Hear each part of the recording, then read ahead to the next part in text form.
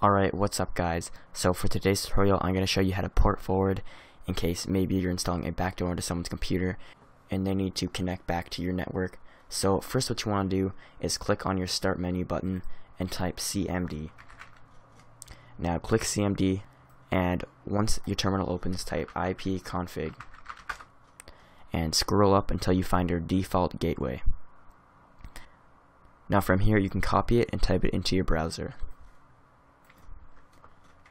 So I have it right here.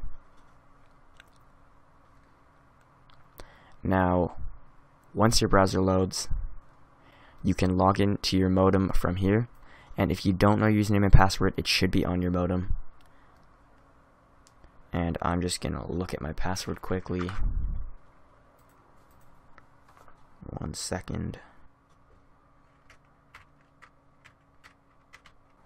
Alright, I got it here and just click login. So next what you want to do is go to firewall and then go to port forwarding. Now from here you can choose what ports you would like to open and for this video I'm just going to open port 555. So first you want to um, select the device or the IP address of the device that you want to port forward on. And I'm just going to port forward on this PC right here. So I'm going to click my PC and it will put the LAN IP address in it. And then what you want to do is type 555 in every box. And for the protocol select TCP and then click apply.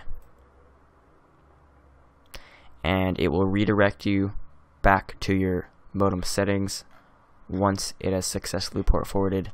And here we are, if you look at the bottom, TCP, IP address, and the port that I opened. So guys, if you enjoyed this video on how to port forward, please like this video and subscribe and make sure to check out the rest of my channel. Anyways, see you later.